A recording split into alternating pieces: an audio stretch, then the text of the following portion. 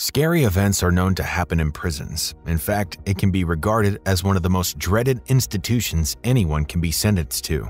Regardless, some people commit heinous offenses and are sent to prisons not just to serve a particular time, but are given capital punishment, the death row. Some of the inmates sentenced to this capital punishment are greatly feared and regarded as the most dangerous.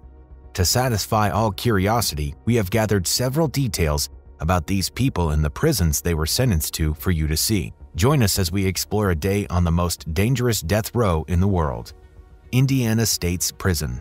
About 50 miles east of Chicago, located in Michigan City, is the maximum security Indiana Department of Correction prison for adult males, also known as the Indiana State's Prison. Established in 1860, it houses all the male death row inmates in the state the institution has housed famous inmates like John Dillinger and D.C. Stephenson. Being the institution that houses all the adult inmates on death row in the state, all the executions carried out before 1913 was done by strangulation, until February 20, 1914, when the first electrocution happened. This practice continued from 1914 till 1995, before the lethal injection was introduced and used to this day. However, there are some death row inmates still detained in the Indiana State's prison, waiting for their last day, with some of them having no appeals left. These inmates are the worst of the worst and considered the most dangerous in the world. At the top of this list is Eric D. Holmes, who was convicted of homicide and conspiracy to commit robbery.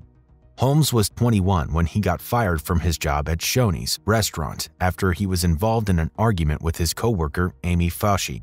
As he finished work on the day that he was fired, Holmes did not go home immediately. He laid an ambush, waiting in the parking lot with a man known as Michael Vance. Fauci left work with managers Teresa Blasi and Charles Irvin, who was carrying the restaurant's receipts. On their way out, they got accosted by Holmes and Vance, who trapped them in the restaurant's foyer and attacked them, then grabbed the money before running. Blasi and Irvin couldn't make it, but Fauci survived the ordeal. This led to Holmes' arrest and being sentenced to death row penalty, while Vance was tried separately and sentenced to 190 years. Holmes was sentenced in 1993 but is still at the Indiana State Prison today, awaiting his final moments. Another inmate at the Indiana State's prison is Michael Dean Overstreet, convicted of assault, molestation, and the confinement of Kelly Eckart. Kelly Eckart was an 18 year old freshman at Franklin College who worked part time at Walmart on September 27, 1997, Eckart had left work and met briefly with her boyfriend before driving towards her home in Shelby County. Sadly, that was the last time she was seen alive. The following morning, Eckart's car was abandoned in a remote area, with its lights on and keys still in the ignition. This led to the investigation going on about her whereabouts before her body was found four days later. It was found particularly unclothed in a rave in Brown County and the autopsy found out she was assaulted with her own shoestring and a strap from the suspender of her overalls. She has also several bullet wounds to her forehead, and semen was discovered on her, which was linked to Overstreet through DNA analysis. He was sentenced on July 31, 2000.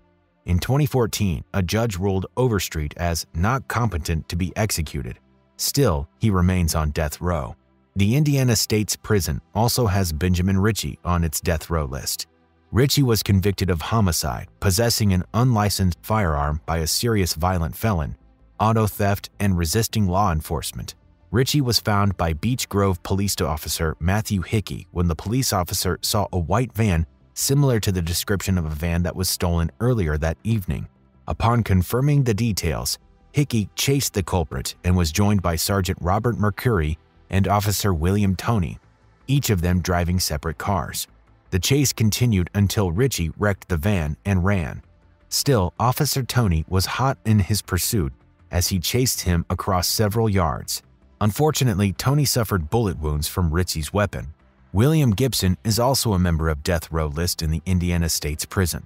Gibson was convicted of attacking Christine Whitis in 2013 a family friend who visited him in his New Albany home to console Gibson after his mother's death. The body was found in his garage by Gibson's sister, who came home to visit her brother but didn't see him because he had gone to a local bar with Whitis's minivan. Hurriedly, Gibson's sister called the police. During the investigation, the police found the body of a woman that had gone missing buried in his backyard. He was also connected to a 2003 killing and awaiting trial in those cases while on death row in the Indiana State's prison. There's also the case of Roy Lee Ward, who was convicted of homicide and criminal deviant misconduct. His victim was a 15 year old Stacy Payne when Ward came back to attack her when she was alone in their rural Dale, Indiana home with her sister Melissa. Melissa, who was 14 then, was napping upstairs when she heard Stacy's screams. Running out, she saw Ward on top of Stacy with a penknife in his hand while Stacy pleaded for him to stop. Ward was on probation for a burglary in Missouri at the time and had several convictions for public indecency, and indecent exposure, so he was arrested for Stacy's murder right at the scene before being taken to the Indiana State's prison, where he awaits the death penalty. On the list also is Joseph E. Corcoran. Corcoran was sentenced to death row on August 26, 1999, based on his conviction of homicide. Corcoran was living with his brother, James Corcoran, his sister, Kelly Nieto, and her fiance, Robert Turner. His brother and his sister's fiance were talking about him with two of his brother's friends, Timothy Bricker and Doug Stillwell, so he became angry about the situation.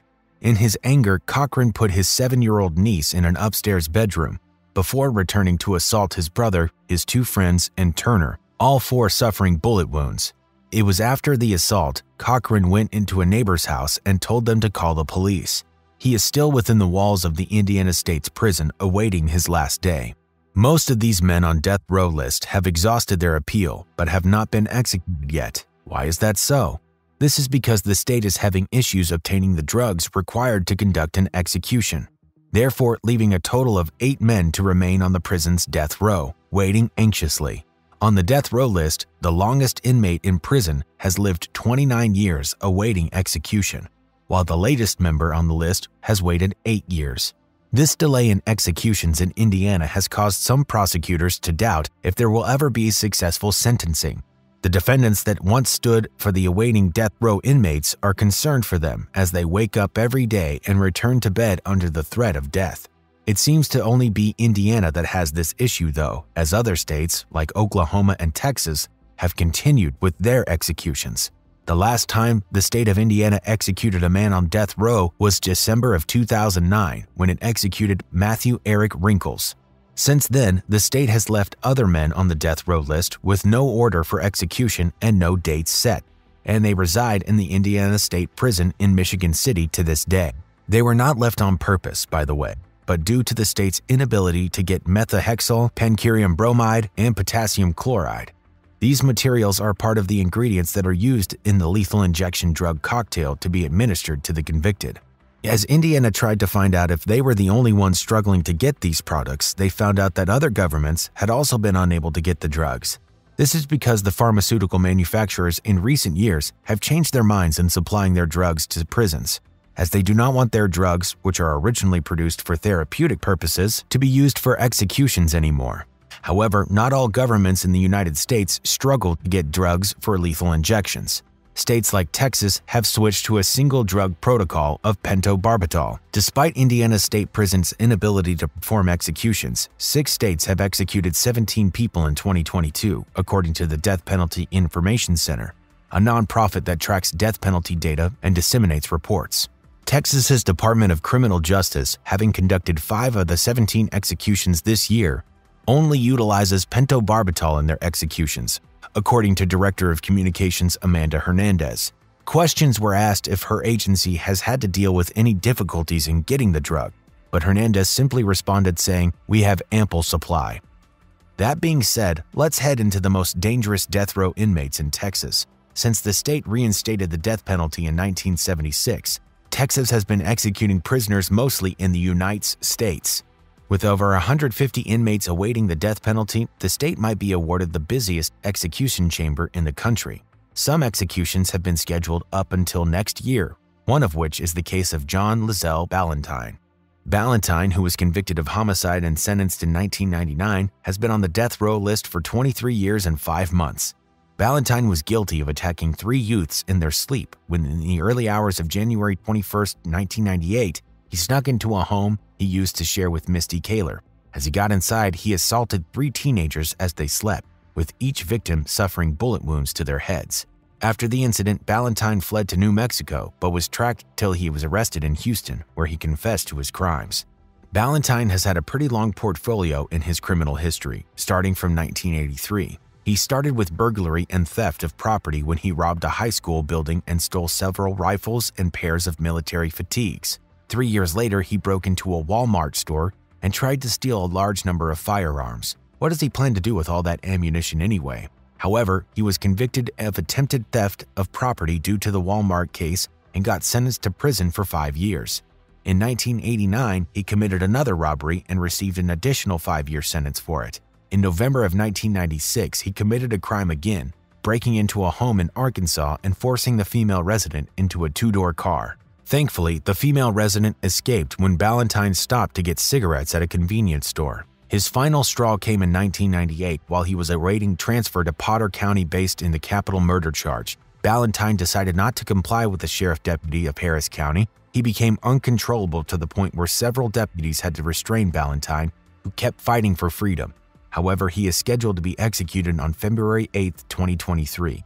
A spectacular inmate on this list is a former Missouri City police officer named Robert Allen Fratta, who was convicted of hiring two hitmen in order to assault his recently divorced wife in 1994. When the whole situation was examined, prosecutors said that Robert Fratta was influenced by money and a custody battle over the couple's three children, which was happening at the time due to the divorce. During this period, Farah was assaulted, and her neighbors found her lying in the garage of her home with two bullet wounds. Fratta was caught with two hitmen that did the job he requested confess their crimes to the police. He was arrested and then taken into custody before being tried and awarded the death penalty, adding him to the death row list. He is scheduled to be executed on January 10, 2023. There are still other inmates on death row, some as old as over 90 years, waiting for their final day. One such inmate is David Carpenter, also known as the Trailside Killer. Carpenter was known and convicted for tracking and assaulting women on hiking trails near San Francisco, California. Carpenter's first suspected victim was 44-year-old Edda Kane, who decided to go hiking in the Mount Temple State Park on August 19th. The following day, Edda Kane was found with a bullet wound in the back of her head. He went on to assault two more women along with the hiking trails while he was living with his parents. He continued this abominable act discreetly until an eyewitness saw the attack take place and ran to law enforcement to give an account of the incident and a description of the attacker. However, the description turned out to be wrong. When the Rangers got to the crime scene, they found a pair of prison issued glasses at the crime scene, and that sparked their intuition to search for potential suspects among convicted offenders. Sadly, they found no promising leads. Since he lost his glasses, Carpenter went to buy a new one but he wasn't suspected as he did not match the description explained by the eyewitness. Although he was noticed to have sustained an injury at the attack, Carpenter claimed to have suffered the injury from a robbery. As he roamed freely, he committed crimes, assaulting women who went jogging into the woods and hiking too. By the time people saw strange events happening in the area, they had become certain that there was a predator in the area and warned one another to stay away from the nature paths. In a bid to transform his modus operandi, Carpenter deceived his last known victim, Heather Skaggs, by arranging with her to sell him a used car. At this time, law enforcement had been watching his every move. When Skaggs was nowhere to be found in her home and workplace, the investigators, now a task force made up of multiple agencies comprising local law enforcement agencies to the Federal Bureau of Investigation, had been watching him due to his past relationship with Skaggs, as they once had been in a relationship. Another reason Carpenter could move scot free was that he served a federal sentence at the time. When he was eventually trialed and arrested, the multitasking force of investigators searched his car and they found different guides to local hiking trails. They also recovered some of the tools Carpenter used in his assaults, which he left with a friend. At the time of his arrest, other eyewitnesses presented themselves with their parts of their stories, placing Carpenter in his car at the locations of several attacks perpetrated by him. All these while, Heather Skaggs has not been found yet. Her body was eventually found under some bushes. Of eight homicide cases related to Carpenter, he was not charged in three of those cases due to lack of evidence. Still, he was put on trial and found guilty of five other murders, which made him sentenced to be executed in the gas chamber. This is where he remains to this day, in the San Quentin prison death row. He is the oldest member there, currently at the age of 92. David Carpenter is not the only one awaiting death row at the San Quentin prison. Randy Kraft, also known as the scorecard killer or the freeway killer, is on the death row list. Seeing Randy Kraft outside on a normal day, he was a prominent computer programmer that worked in sunny Southern California.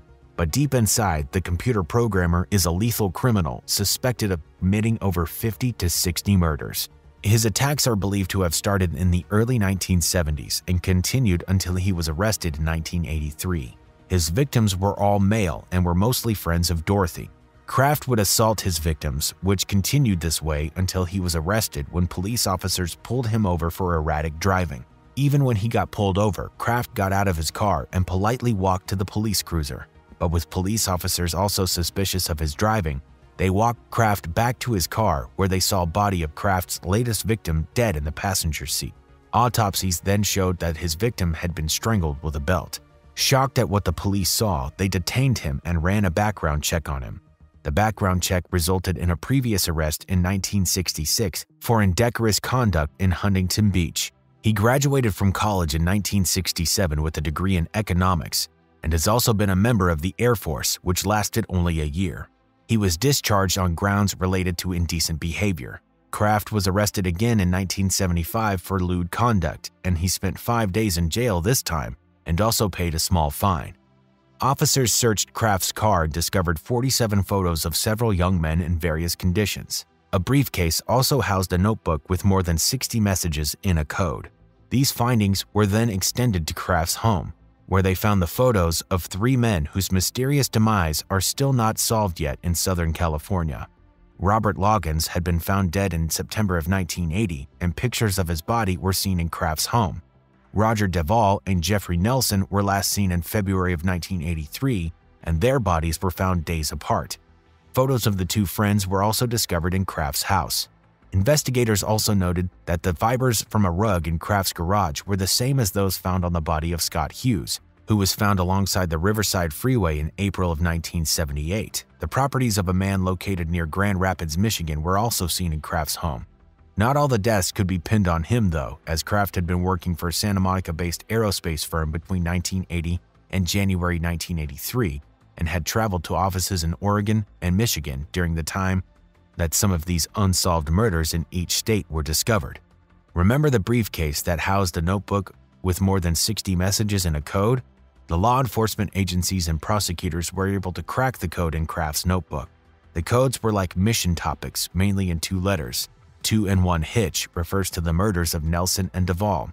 Marine Carson is regarded as Richard Keith, a Marine last seen in Carson, California, and whose body is discovered in Laguna Hills in 1978. Jail out referred to a murder he committed hours after being released from jail on June 11, 1978. Parking lot talked about the murder of Keith Crotwell, a dead eight year old boy whose body was discovered by a group of fishermen. His body turned up a while later. Kraft was called in this case, and he admitted seeing Crotwell in a parking lot that day he vanished. For this reason, Kraft was considered a scorecard killer. In September of 1983, the courts and prosecutors were ready for Kraft. The charges against Kraft were 16 murders, 11 counts of indecorous conduct, 9 counts of assault and mutilation, and 3 counts of robbery. The following January, prosecutors on Kraft's case dug up more information and they filed a written notice with their intent to prove 21 additional murders, which ran for 12 years across three states. Kraft was found guilty of these offenses and, as a result, was given the death sentence. Unlike other killers that have confessed to their crimes, Kraft has disregarded all allegations made towards him and has ignored the attention his crimes have gathered. He has never offered any explanation or interest in clearing any of the unsolved allegations made towards him. Due to his unwillingness to provide information about his crimes, law authorities may never know about his criminal history. But due to his extensive traveling, an estimate pegs the murder count to as high as 70. Regardless, he is also awaiting execution on the death row list in San Quentin State Prison, California. Which of these death row inmates looked the most dangerous to you? Let us know your thoughts in the comments section below.